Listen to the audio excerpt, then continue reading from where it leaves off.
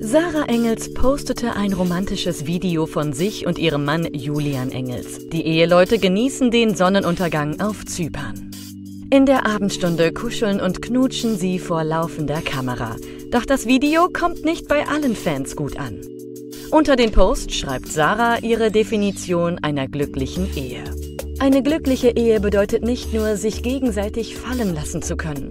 Eine glückliche Ehe bedeutet auch, dass man einander immer respektiert und Beachtung schenkt und gemeinsam dafür arbeitet. So die The Masked Singer Gewinnerin. Und weiter?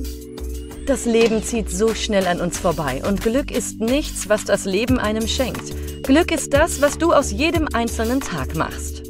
Doch so manche Fans kritisieren das Video.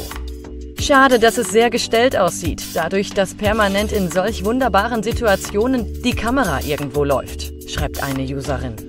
Auch sei sie zu häufig unterwegs. Diese Familie kommt auch einfach gar nicht zur Ruhe, ständig unterwegs. Sind die denn mal einen Monat am Stück zu Hause? Kennt diese Ehe auch mal sowas wie einen Alltag? kritisiert eine Nutzerin. Auch das Setting sehen Follower als kritisch an. Sie zweifeln die Vorbildfunktion der 30-Jährigen an. Würdest du, liebe Sarah, es gut finden, wenn Alessio oder Solea sich wegen eines Videos oder Fotos in Gefahr bringen würden? Ich denke nicht. Oder mit Vorbildwirkung für jüngere Leute finde ich den Drehort unpassend, kommentieren User.